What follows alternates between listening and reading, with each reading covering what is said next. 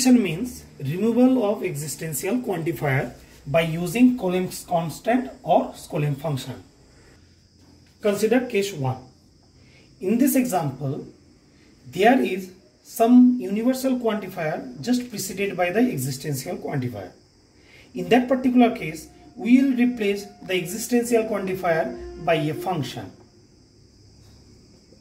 Why we are using function? Because some universal quantifier is there just preceded by the existential quantifier. Let's if is the function, Skolem function. So what will be the argument?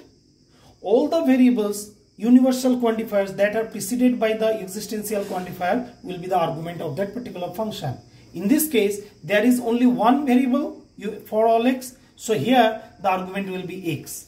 If there is other variables, say for example z, on that time we will write zx. So in this case, there is only one variable. So we will use fx. So whenever we will get y, we will replace y by the Skolem function fx. So after applying the Skolemization, this relation will look like for all x, px f of x implies qx f of x. Here we have removed existential quantifier by using a Skolem function.